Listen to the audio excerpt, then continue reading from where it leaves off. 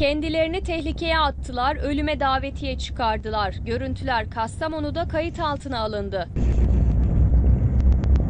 Olay Tosya ilçesinde meydana geldi. Seyir halindeki odun yüklü kamyonun arkasına asılan iki çocuk böyle yolculuk etti.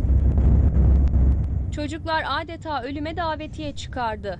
Tehlikeye aldırış etmeden kilometrelerce yol aldılar. O anlar diğer sürücülerin cep telefonu kamerasına an be an böyle kaydedildi.